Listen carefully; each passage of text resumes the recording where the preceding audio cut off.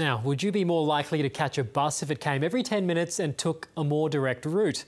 Researchers from Melbourne University have mapped an overhaul of buses in Melbourne's west, and they say it'll make the bus more accessible for thousands of people, saving time, money, and cutting carbon emissions. Iqbal Hussain would love to catch the bus to Hoppers Crossing station, but not if he's in a rush. Most of the time, if anyone misses bus, they have to wait 40 to 50 minutes. Once the bus arrives, it's not quick. Around, moving around, it takes almost 18 to 20 minutes.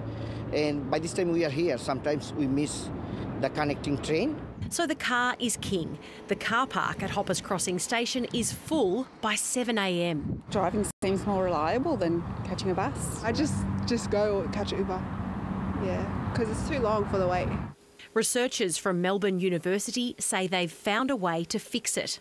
For the same resources, we could give people huge amounts of improvement in accessibility. They could have 10 minute services all day, seven days a week. The plan involves rerouting the bus network from this, with a bus stop within 400 metres of most homes, to this, with fewer routes running more often on main roads.